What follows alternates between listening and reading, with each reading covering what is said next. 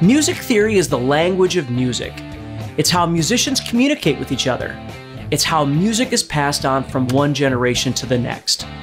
Every song and every solo that's ever been played is possible because someone knew how to communicate what was in their heart and soul. And it's that form, that structure, that makes music possible, and it's called music theory. Now, do you have to know music theory to play guitar? No, of course not. In fact, if you're just starting out, the last thing you really need to worry about is music theory.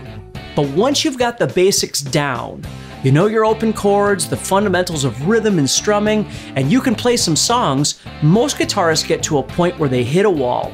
They get stuck. They get trapped into playing the same old stuff over and over. And then they wind up losing focus. They're confused, frustrated, and unsure of how to move forward.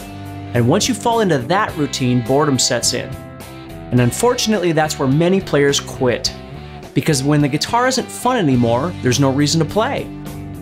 So if you've been playing a while and you feel like you're not making the progress that you want, or boredom is setting in, or you feel lost or stuck in a rut, then music theory can be a great way to break out and reignite the spark in your playing.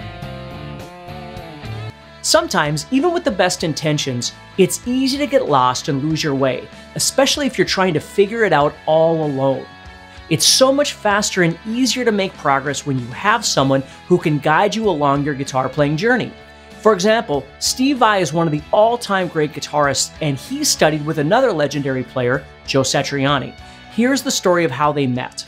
I mean, it's it sounds funny to think that I'm just in my house doing nothing, and or I should say my parents' house. I'm just a you know idiot teenager, and some other little kid knocks on the door with a pack of strings in one hand and, and a stringless guitar in the other, and he says, you know, we saw you play at the high school dance. Can you teach me how to play guitar? And I'm like, oh, you little ugly little kid, get in here, you know, sit down over there. It just happened to be Steve Vai.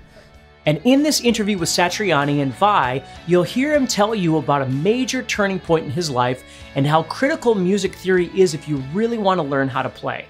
One of my first lessons, you wrote, memorize all the notes on the guitar.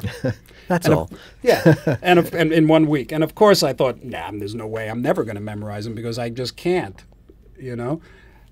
And I came back to a lesson, and one of the first things Joe says is, "Okay, play an F sharp on the B string," and I went, "Uh." Uh, uh, and he goes, stop, lesson over. and you wrote down in the book, and I still have it. If you don't know your notes, you don't know S H dash dash exclamation mark, and wow. sent me home. Wow. It was great. And and the walk home was one of the most turning points in my life because I this guy decided I am never ever going to show up not completely prepared. So it's so funny how little, little things. things can have such a profound impact. That's true. It's That's true. true. Listen, learning music theory can change your life. I'll never forget when I had an opportunity to play with Mitch Malloy in his hometown of Dickinson, North Dakota. Now, Mitch had had a couple of really big hits back in the 80s, and now he's the singer for Great White. I knew a few of Mitch's songs because they were on the radio all the time back then, and I learned the chords to the rest of the songs, but I didn't know any of the solos. I decided I would just learn the songs and jam the solos. This was a big mistake. Now, I could play solos pretty well in minor pentatonic because minor pentatonic sounded great over the style of music that I played the most back then. The problem was, Mitch's songs were a completely different style than I was used to, and found out the hard way on stage in front of about 7,000 people that my handful of minor pentatonic tricks just weren't going to work. We started playing the songs, and every time the solos came up, they were awful. It was the most humbling experience of my guitar playing life, but it changed the whole trajectory of my playing, my study, and everything like that because it made me realize that there's a lot of stuff that I just didn't know. Now, it wasn't until I got to college that I realized how much I didn't know. It was mind blowing. All the scales, chords, progressions, modes. At first, I was frustrated and completely overwhelmed. It was like drinking from a fire hose. But slowly, the pieces of the puzzle started coming together. And when it did, everything began to become a lot more clear. And as I continued to increase my understanding of how music is made, how certain chords go together, how scales are connected across the fretboard, how rhythm is counted and played and felt deep in your bones, everything started to make sense. And as my knowledge increased, my confidence also increased.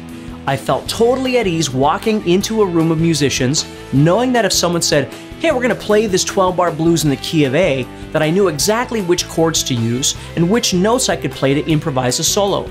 I was no longer intimidated. The fear was gone. And my playing was solid, clean, and confident. And having that rock solid confidence in yourself, it puts your audience at ease because it comes through in your playing, which makes your performance more enjoyable for everybody. Imagine if you traveled to a country where you didn't speak the language. Let's say you always wanted to go to Italy. You want to go to the most important cities and soak up the local culture, see the beautiful countryside, and eat the best Italian food of your life. Imagine what type of trip you'd have if you only knew a few words of Italian. You'd probably be stuck on a tour bus because you wouldn't have the confidence to rent a car and drive because that would require you to navigate by yourself, read a map, and understand the road signs. You'd probably eat at restaurants that cater to tourists because you wouldn't be able to strike up a conversation with someone who'd send you to his or her favorite locals only place that serves the most authentic food and the menu is only in Italian. You'd have to settle for the tourist attractions instead of those special insiders only places that are reserved for those who speak the language. Now, in both cases, you visited Italy, but the experience was completely different. One trip was okay, the other was a trip of a lifetime. And that's what music theory does for you.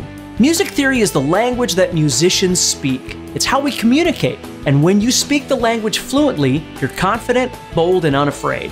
You can jam with others, you can write your own music, compose your own songs, clearly communicate your ideas, and your guitar playing journey can be the trip of a lifetime. I invite you to join me on a journey to master the language of music. I'm Steve Stine, and this is my Music Theory Masterclass.